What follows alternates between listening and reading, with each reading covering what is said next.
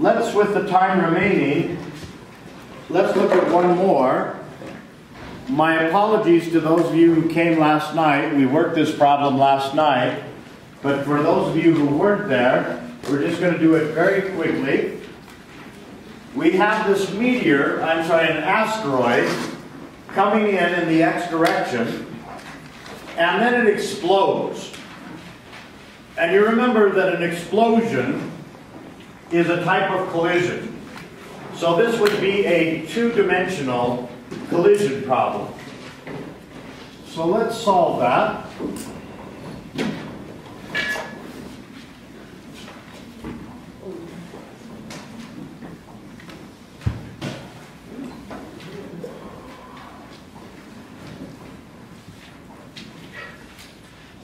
Now, I'm going to need this table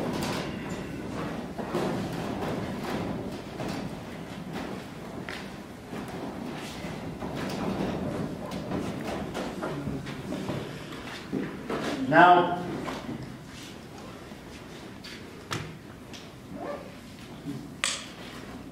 if I if I add up the momentum of all of the fragments, that's going to give me the total momentum of the system. Well, the total momentum of the system can't change. That means it's got to be the momentum that this asteroid had before the explosion. And it's all in the x direction. I got 250 kilograms going at 3 meters per second. That's going to be a total momentum of the system of 750 franci in the x direction and 0 in the y direction. Well, after the collision, it's all got to add up to that same amount. Well, if I look at fragment 1, it's going to the left, but I don't know how fast.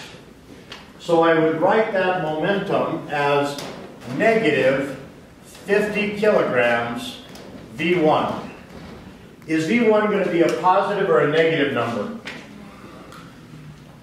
Positive. Positive, it's a speed, it's a magnitude. I already said the direction was left by putting the minus sign there. And there's going to be none in the y direction for 1. Now if I look at fragment 2, it's got a momentum of 120 times 5, or 600 franci, and it's going at an angle of 53 degrees.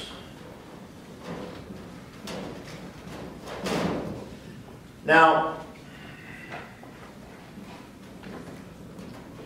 if I break that up into its x part, to go up and to the right, I got to go to the right, and I got to go up.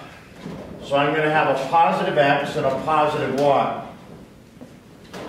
This is going to be 600 times the cosine of uh, 53 degrees and that's going to be 360.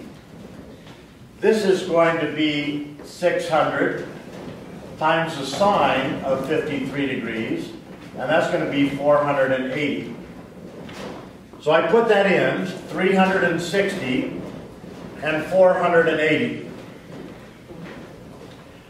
Now here's where we have to use conservation of momentum. We don't know how fast this last fragment is going. But we do know that it's going at 37 degrees. So, I know that I've got something with momentum 37 degrees. But I also know that this y column has to add up to zero. And so that means that this third fragment has to have a y part equal to negative 480. So that means that when I break up this vector, the y part has to be 480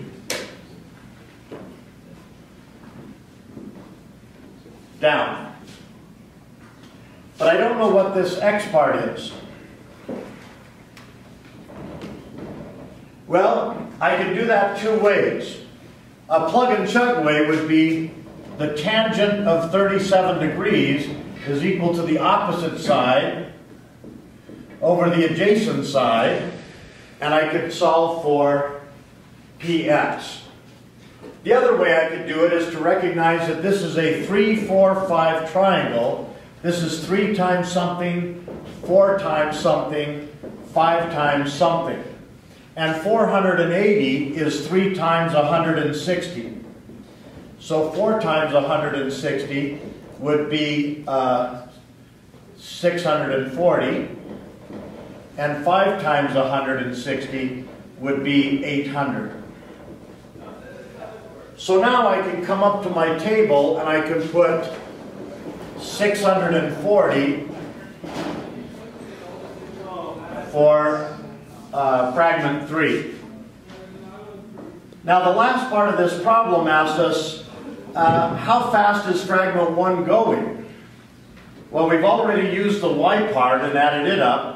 Let's use the x part.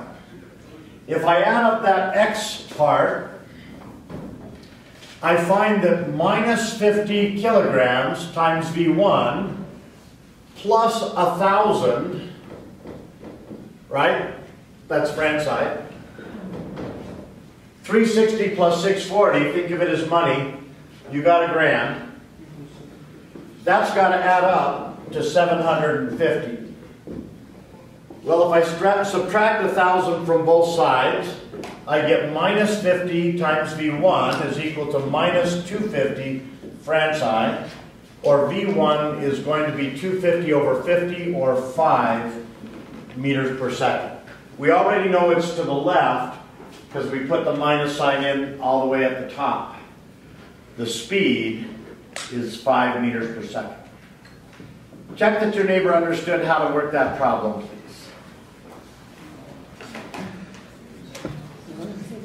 My experience as an old guy has been that those of you tomorrow night that have the table will also have the right answer. And those of you that don't have the table will not.